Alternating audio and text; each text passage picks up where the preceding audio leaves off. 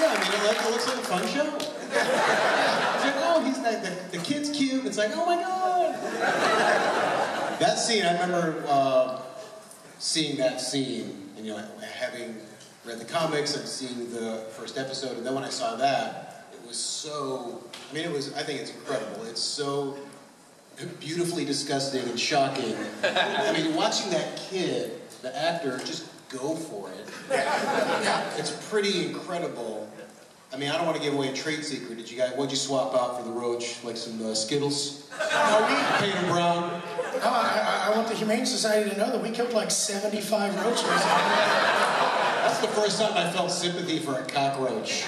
It's like, oh, disgusting roach. That is a really amazing scene. It's so incredible. It's actually cool. All the close-up photography of the roach was actually a wall that was like a table, and we had like some roach wranglers. And I would stay back like 15 feet on set because I didn't want to get anywhere near that thing because it was huge. And, uh, and they had like the camera on it, and, and uh, Adam Wingard, our director, get real close to me. That thing is going to jump on your face. It really was cool seeing that extreme close-up of the roach and really just seeing it in that. I mean, the way it's cut is really great.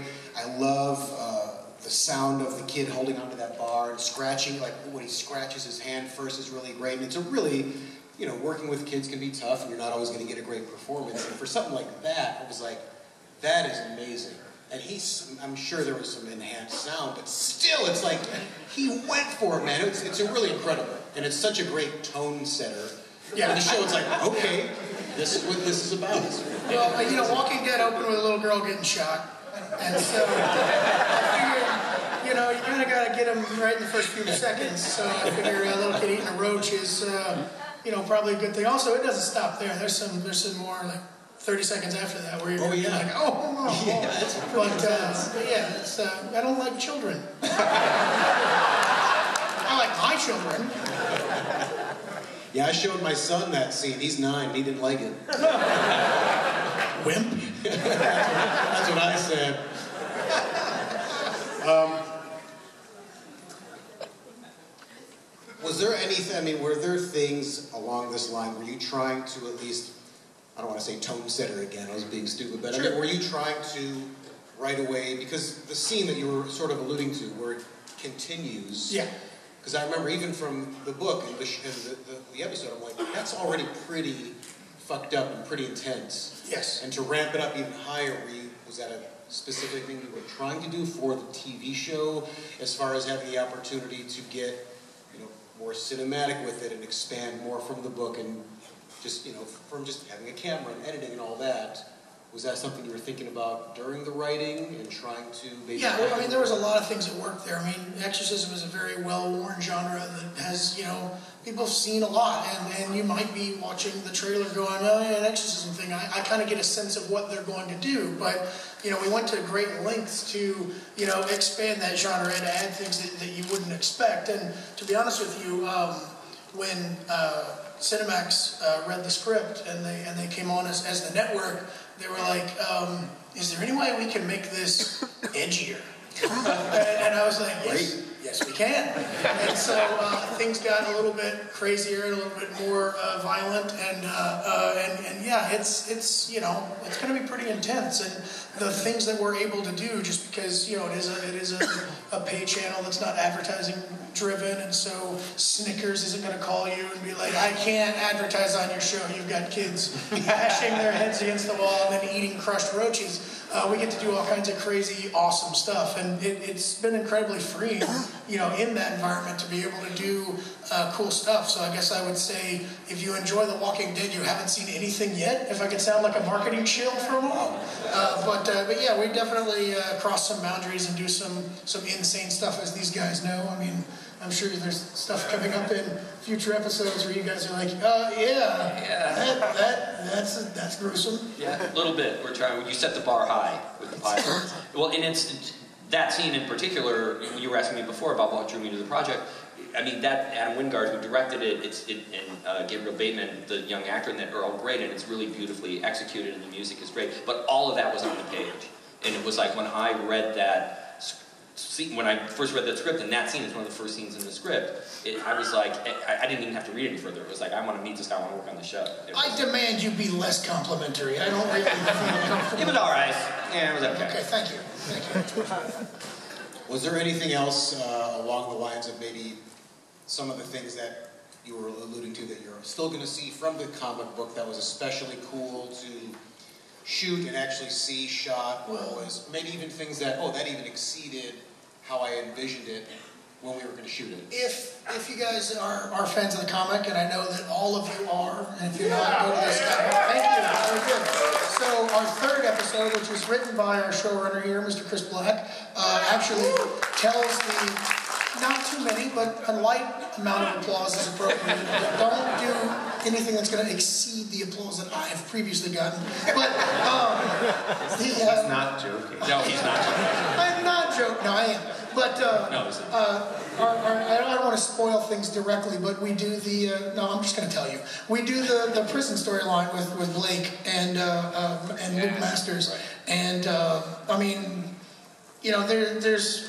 It, it- when I was writing the, the comic and, and writing the pilot, it, it really kind of drew attention to the things that television can accomplish and the things that comic can accomplish and the difference between uh, the two mediums and, and seeing what we were able to do in that episode. I think it vastly exceeds what we did in the comic. And, and you know, uh, Lee uh, Tergesen uh, plays, uh, plays Blake and Right. is just absolutely amazing in that episode. And, Phenomenal. and yeah, and I think when you guys see that stuff, it's just, you know, it's it's absolutely terrifying and, and just really, really cool. Yeah, and it is. I mean, when you, it starts with the material. I mean, that was a story uh, from the second or third issue of the comic that we knew we wanted to tell. That it was going to be a great story. It was going to make it. Fifth issue. Fifth, was it? Fifth. I should read them. Um, but I, I, I've read them all. Don't make jokes about not reading comics at Comic Con when you're the showrunner of the comic book show. I read them religiously. See, Chris ribs me about this constantly when, when we're in the writers' room, so that's that's why. It's a bit, sorry. But I, I make him read the comics, Yeah, he whether he wants to or not. He comes to my house and makes me read. them. He reads Outcast, but I couldn't get him to read Walking Dead to save his life. So. That's that's not true. Um, but no, it was a great story. We knew we wanted to do that story. But you, you get an issue of a comic, as you well know, that it's like it's it is what it is. It's whatever twenty some odd Yeah. pages, and you have now sixty minutes of premium cable to fill, which Yeah. you see as an opportunity. It's like how can you make more of this? How can you add to this? How, you don't want to change the story, but how can you augment the story? How can you can you build upon what the what the comic story was and take it to a place in this medium and in you know and with the freedom that Cinemax has given us to really push the the boundaries of what you can do on television and And great. let, us talk about that for a minute because you know we do have an audience here that is very familiar with the comics, and the cool thing about The Walking Dead is that we do change things, and you guys are probably wondering like how are we going to do that with Outcast? And a really cool thing that we're doing is uh, you know the comic is getting adapted, and, and you know Kyle's story and uh, Reverend Anderson's story is, is getting told, uh, but the way that we're expanding the comic out to fill the you know 145 minutes you have to do on a Cinemax show because there's no commercials. It's really a pain in the ass. Uh, you know, Walking Dead's like 39 and a half minutes, and but uh, it's like 42 minutes. But anyway, uh, our Outcast episodes are longer. Is that we're taking characters like Chief Giles, who is in the comic and does things in the comic, but isn't that large of a character, and expanding him tremendously. We've got Reggie Cathy, who just won an Emmy, uh, who's playing that, who, who was in The Wire. Everybody loves The Wire, but no one as much as me. Uh, and uh, uh, you know we're doing all kinds of cool stuff with that character, and so the overall you know story that you love from the comics is getting adapted, but we're expanding the world in really cool ways that's really going to make the story that much better. I, I love doing comics and adapting them into TV shows that make my comics seem inferior. That's what I'm trying to do. well, it is, No applause there. I thank I thank you. Thank you. well, no, it's, it's creating. That's one of the fun things about working on the show is Robert created this world. It's like you, he gave you this blueprint, this template for what this place is, Rome, West Virginia, and who lives there, and what this place looks like and feels like. But then you get to go in that and, and play in it, and you discover it, and the world kind of like the whole Chief Giles story is something. We have this great actor.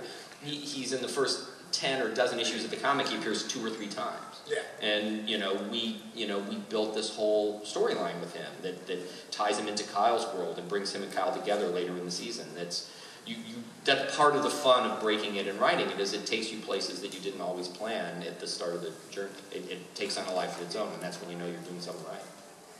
It's, I. It's for, one of the things I think is great is just I'm echoing what you're saying. It's really cool to see that because there's so many characters, which I imagine gives you lots of opportunities for just different kinds of stories. And one of the things you were saying, which I think is certainly one of the show's strength, is just seeing the stories of these people and certainly how they're affected by what's going on, but just everything else from their lives. And it's really rich and dynamic, and it's beautifully shot also, and certainly well executed as far as the acting and everything else. I mean, just from that scene alone, you see the directing and the editing and the sound, it's all kind of amazing. But I would imagine it's kind of fun from a production, writing, and even performing standpoint. But getting to be this character and like Robert was saying, where it's a very, very kind of heavy subject matter, could potentially be just a bummer where it's just too sad in the performance, but there is a layer of this kind of hope that he recognized, and was that something that you enjoy doing on for this character? Did it maintain through the season?